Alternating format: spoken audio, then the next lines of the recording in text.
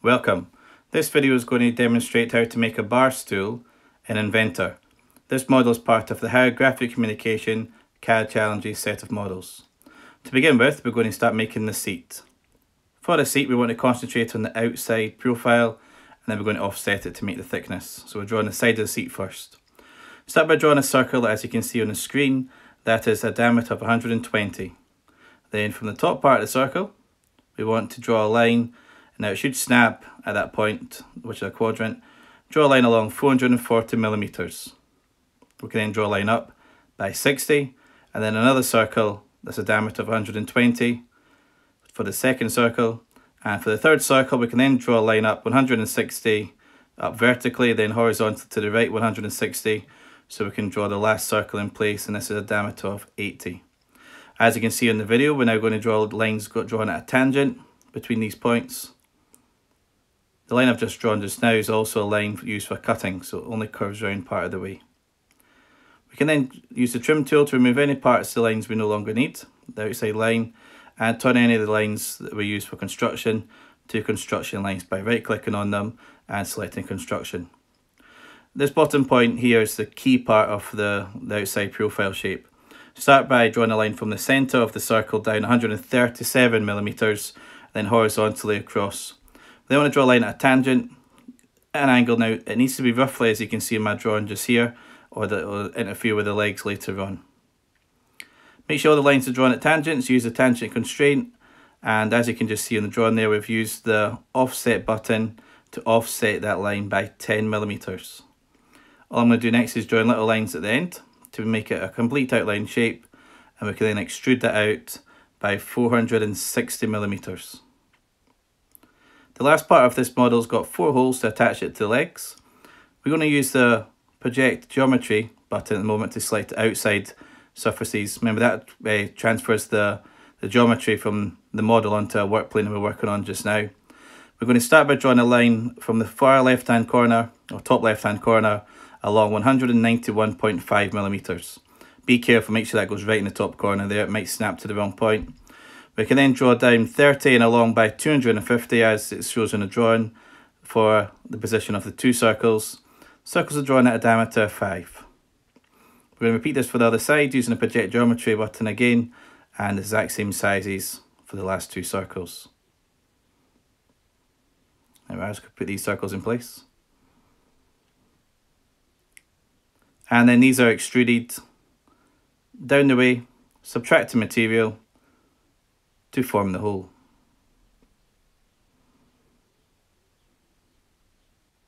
The second part we're going to move on to is the legs. Now there's two legs in the model, you only need to model one and you can put uh, the legs in twice when you do your assembly. To begin with, we want to draw a large circle that's got a diameter of 300. Then from the right hand side, we want to draw a line down 170 make sure it's from the quadrant of the circle and you might want to this stage use the, uh, the tangent constraint to make sure it's touching at that point. We can then draw a line horizontally across by uh, 30, draw another circle in place, a line across from there 112 for the second circle and draw a circle size of 60 and we can then connect those up with tangents as you can see in the drawing. For the top part, we want to draw a line up 940. Just draw that up from the centre of one of the circles, then a horizontal line. We can then draw a line up the centre and then across to the right hand side by 200. This is going to find the centre of the, the top circle. We can then draw a circle in this place here that's the same size as before, a diameter of 60. That allows us to then join the two circles up, as you can see in the drawing, uh, the video just now, at a tangent. Remember to use the constraints tool to make them join. We can then trim off the parts in the model we don't need and turn any construction lines to construction.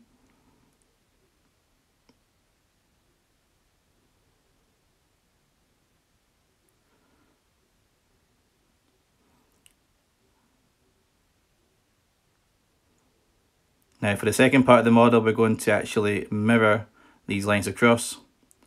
So select the mirror tool, we can select the lines we'd like to mirror and a center line. There we go. Now making the legs, we're going to use a sweep feature. So we've done the path, we now need to draw the profile. So select the center work plane. And what I'm going to do is just rotate it slightly just now. and use the constraint, uh, the, should I say, the project geometry button to just get a point accurately at the top for my circle. Circle size we're going to draw is going to be a size of 20. And you can work that out by looking at the size of the, the screw block or the feet in orthographic drawing. Okay, now we've got our two parts. We can then use a sweep tool.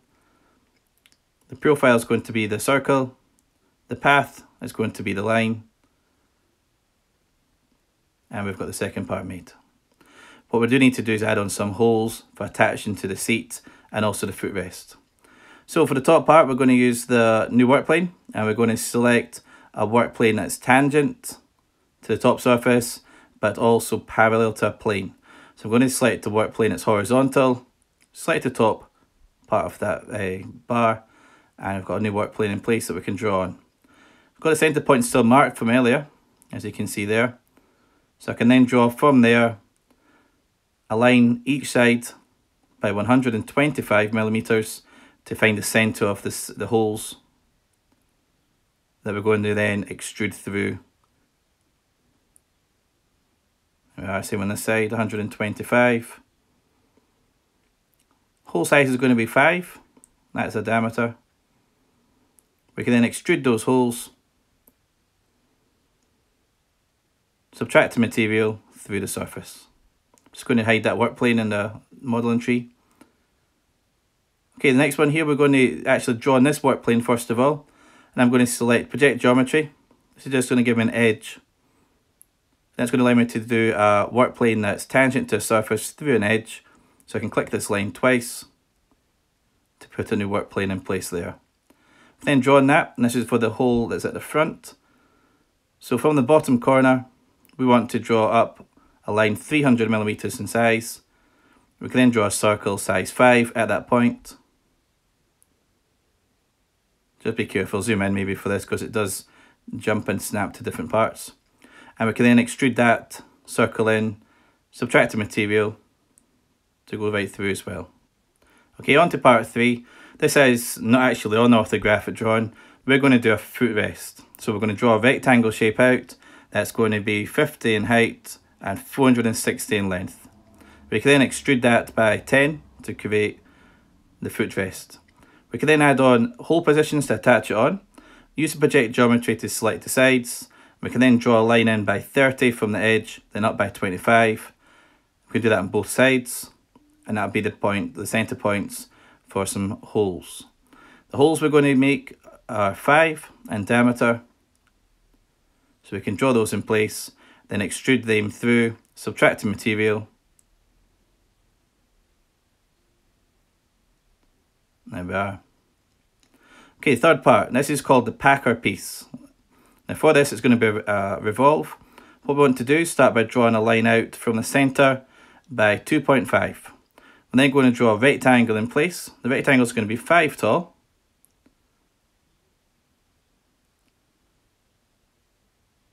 Right, drawing a rectangle as you can see there.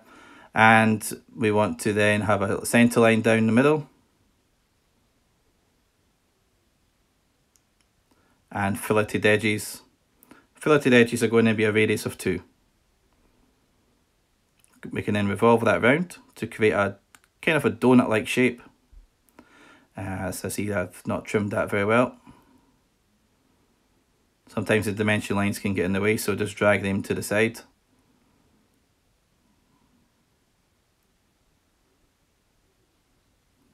I'll just redraw everything to make sure it's a completed outline shape. And there we have our packer piece. Okay, so the next part is the fifth piece, and that's a screw block. The screw block can be quite tricky to do. Start by drawing a rectangle that's 19 along and 10 tall. Then in the corners of that rectangle, draw circles that are diameter of one millimeter. Then connect up using the line tool, those circles, making sure the lines are drawn at a tangent. You can also use the tangent constraint tool to make sure they are touching at a tangent. For the top part of the screw block, it's a kind of a curve. And we're going to use the arc tool, the center point arc tool. The size you want to draw at is 10.5. Start by clicking the center Move the mouse up high like you can see, like you can see in the video and click and then click a second time to finish the curve. Same on this one, type in 10.5, start the mouse in that position and then click once you've drawn it. Where the two lines intersect, we want to draw a circle that's a diameter of 20 and that should then touch at a tangent the circles at the side. We can then trim away the lines we don't need, so that's the top part of that circle and the rest of the small circles. And we can also turn all the other lines to construction lines. If you hold down the shift key, you can select more than one line at a time. So select them all, right click on the line and go construction to finish the outline profile. We can then extrude that profile out, and this time we're going out by 15 to create the shape. Now there's a hole going through it with a counter bored hole. So I'm going to draw on the, on the bottom a new uh, sketch. Project geometry the top two lines, then draw a line between them. That'll find the centre points the top lines and the green dot's also the centre point on the line. Draw a circle and extrude it in. Circle size is 10. Extrude it in by 2.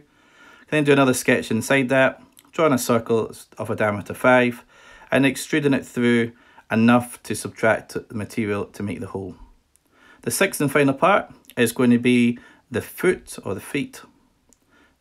This is done like the screw block, so start by drawing a rectangle out that is 24.3 by 13.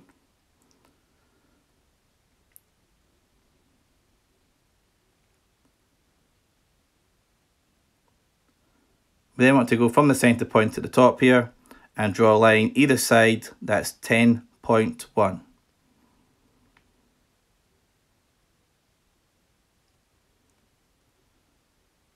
Now this will give us positions for the circles, a bit like we drew in this, uh, the screw block.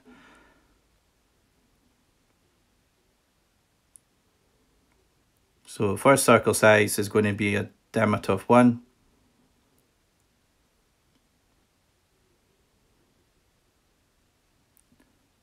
And the four circles go in the, play, uh, the positions you can see. We can then join these circles up with lines, making sure the lines are at a tangent. Again, you can use the tangent constraint tool to make sure they are touching at a tangent.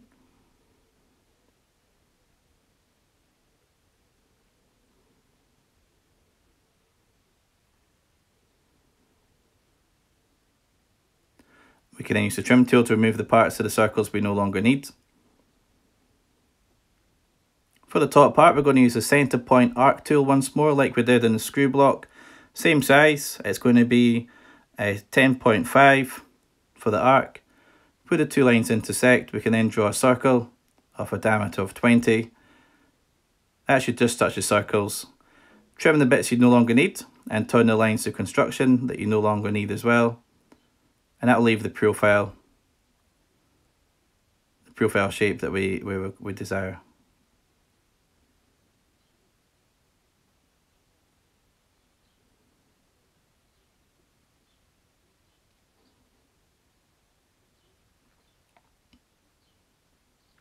Again, remember you can use the, the shift key to select more than one line and just to speed things up.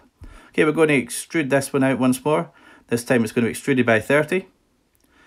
On the bottom surface, again, do a new sketch. Use project geometry to select the two outside lines.